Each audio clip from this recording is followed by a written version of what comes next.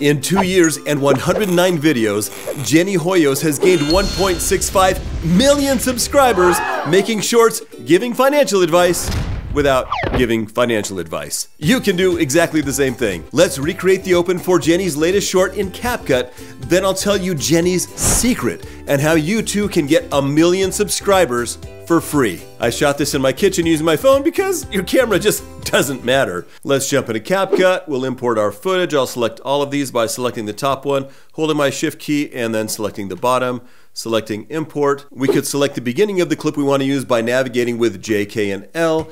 And when we find about the beginning, we would just type the letter I to set an endpoint, go to the end of what we want to use, and type an O to set an out point, then clicking on this plus sign here, and that drags into the timeline, and we can just clean it up a little bit once we're in the timeline because we have a little more precision control. Maybe when the bottle starts to move, we make that our very first frame, and I could split the clip right here by selecting the split icon here. Now we have our beginning shot that looks like this. I shrug, and about there, I probably want to end it. Now, I could do that with every clip, but I find sometimes it's really helpful just to put all of your clips in your timeline in order and then edit in the timeline. And I do this in both CapCut and Premiere. So I'm going to take these remaining clips and drag them all to the timeline like this. I'm going to just select the rest of these clips and put them in order.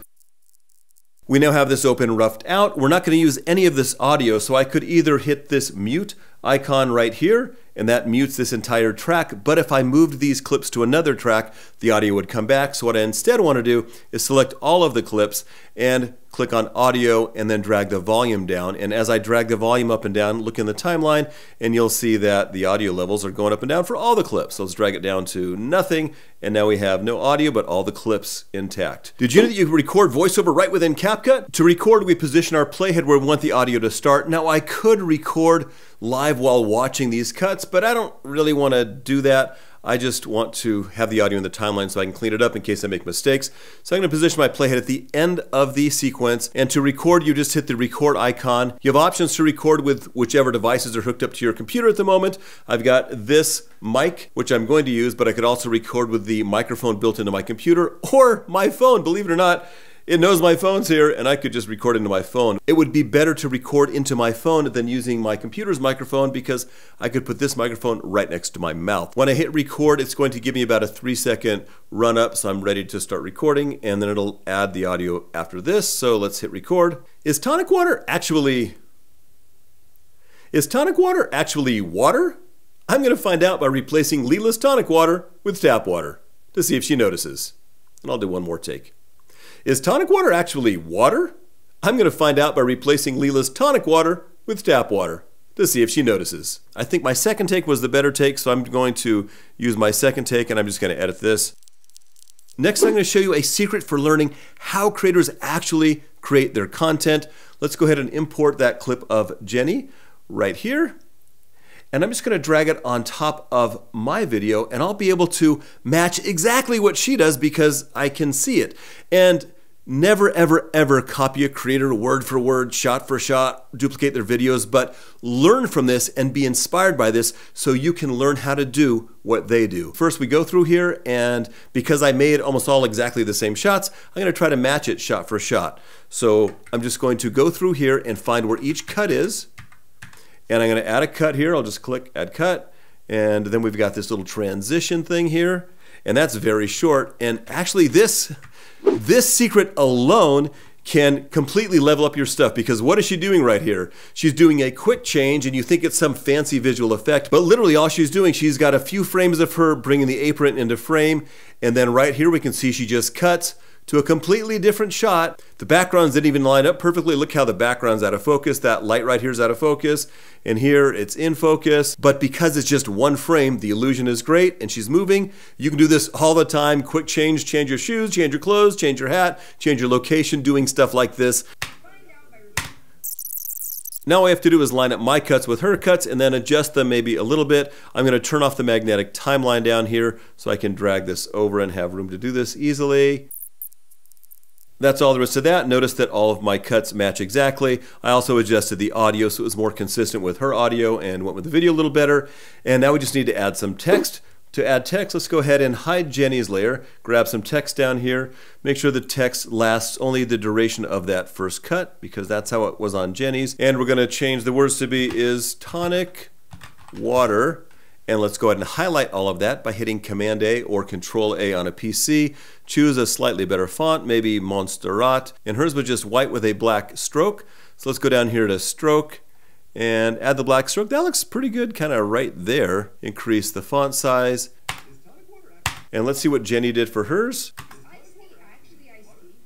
And notice where she had the text, it was right under her chin. So you're looking at her face and you can see the text at the same time. So let's position our text kind of exactly the same. I'm going to just click and drag it up here. All right, the text looks good, but now we could use some arrows because if we look here, we can see that Jenny has arrows there. So let's go ahead and find an arrow. We simply click over on stickers and oh look, a red arrow. We just drag it to the timeline and position it where we want it she has her arrow pointing up at that can. So let's go ahead and hide her track and adjust this arrow so it's pointing the right direction. Let's go ahead and show our text again and make sure everything's lined up great. And then let's go ahead and add the arrow back here as well.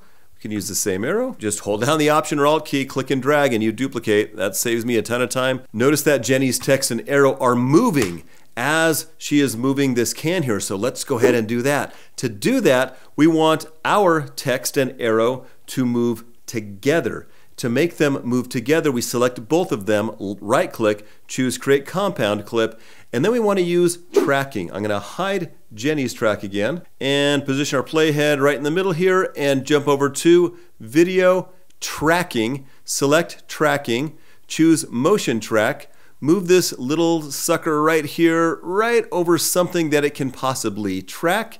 And we want it to track backwards and forwards. We want it to follow what this bottle is doing and have the text move accordingly. So we're going to leave this set to both. We're going to uncheck scale. We just want this to go side to side. If we have scale checked, it'll get bigger and smaller depending on what the bottle is doing, but it's not always super accurate.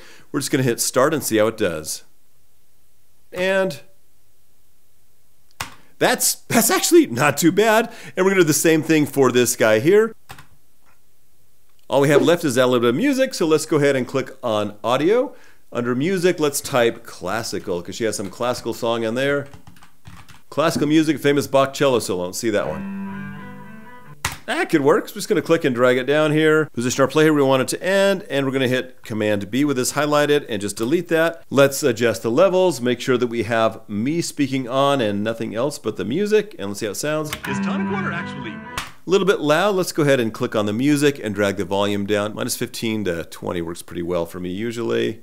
Is tonic water actually water? I think that's probably pretty great. Let's go ahead and watch our masterpiece. Is tonic water actually water? I'm gonna find out by replacing Leela's tonic water with tap water to see if she notices. Now that we know how to physically do it, here's what's even more important. This is Jenny's secret that can get you hundreds of thousands of views and a million subscribers. You'll notice that Jenny's shorts are simple, they're relatable, and she doesn't waste a second. That intro was six seconds long, but it had five shots, text, graphics, and music and dialogue. It has nothing to do with equipment or production value, but everything to do with great storytelling. A simple hook that creates a question you must know the answer to, delivering on the hook, and then abruptly ending the video. That is a brilliant formula that you should 100% copy. In fact, Watch that again and write it down. On the other end of the spectrum, you have Jimmy Donaldson, Mr. Beast, who spends a gazillion dollars on every video. But guess what? Jimmy Donaldson started out as a broke kid and didn't spend any money on his first videos.